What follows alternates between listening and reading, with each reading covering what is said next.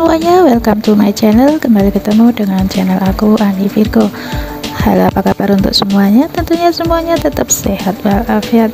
Oh ya teman-teman, di sini di video aku Aku ingin sharing uh, rute menuju kebun stroberi Yang ada di Kamtin Yunlong.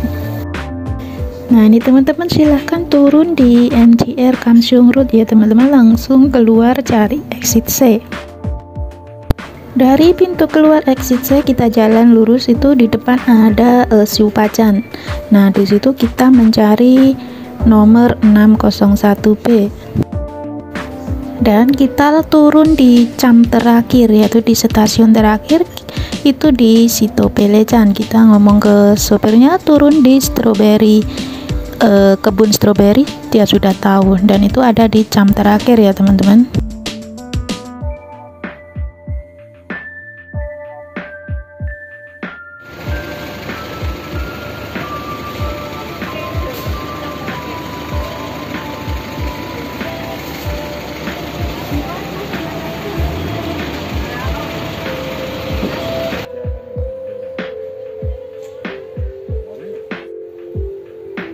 Tara, kita sudah sampai. Ini adalah pintu masuk ke kebun stroberi dan jangan lupa kalau kita masuk kita harus tut. Tempat tutnya ada di pintu masuk dan juga di dalam nanti ada petugas ya teman-teman. Di sana kita juga harus tut.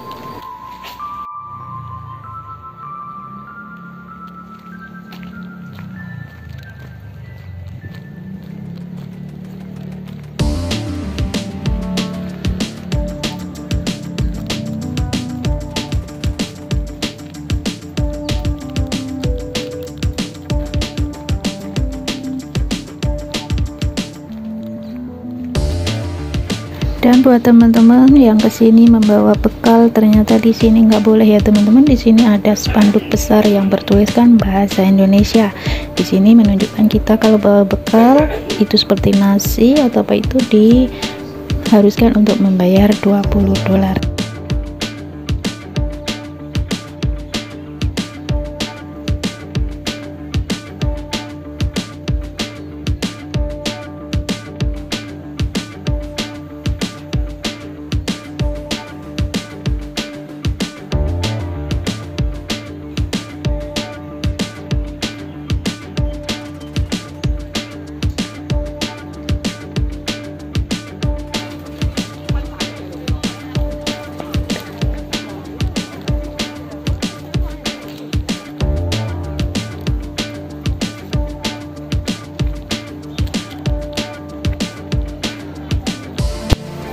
semuanya dan ini aku sudah mulai masuk ke area dalam ya teman-teman. Di sini banyak sekali pengunjungnya tetapi hari ini cuacanya sangat dingin dan sedikit turun hujan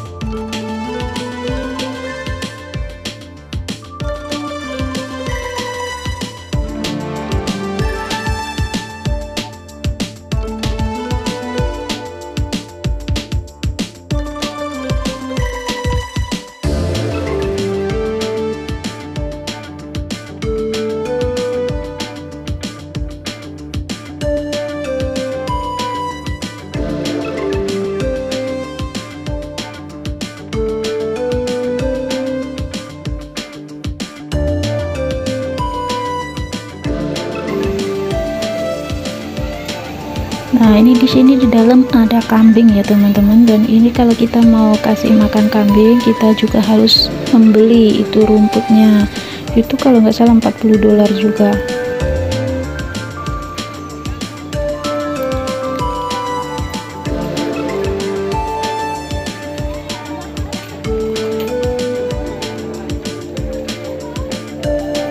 Nah inilah penampakan wedus Hongkong guys. Ini di Hongkong juga banyak kambing, banyak wedus. Kalau di sini orang Hongkong lihat wedus, lihat kambing itu terpesona ya guys ya. Kalau di kita di kampung sudah biasa tiap hari kita melihat wedus.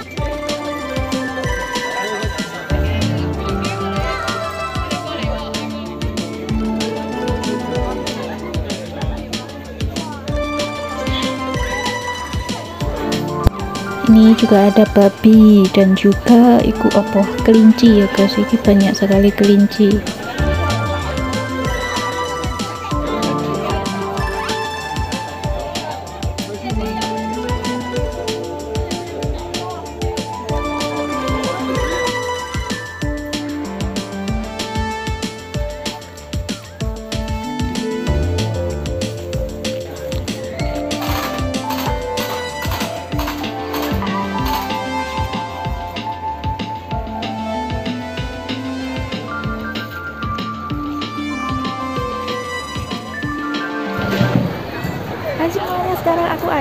ada di daerah uh, kebun stroberi yang ada di Linglong ya teman-teman.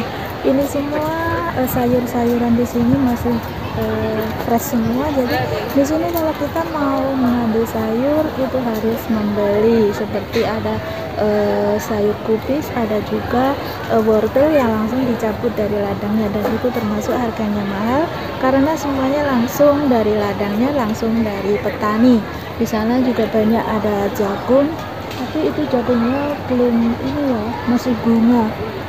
Itu ada sangcoy ini kubis di sana juga banyak sekali tomat. Dan sayur-sayurnya seger-seger sekali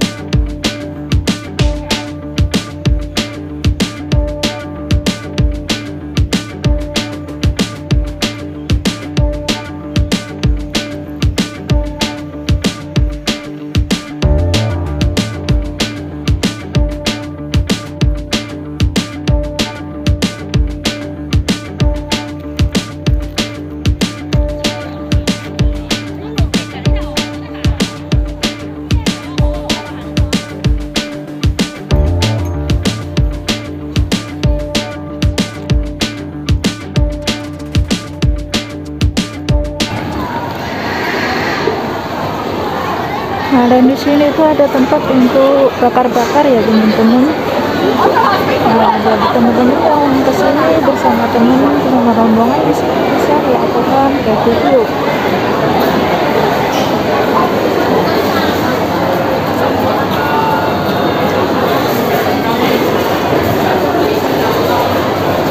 dan untuk membeli barangnya ada di sini. Di sini adalah semua bahan untuk barbecue. Kita membeli di sini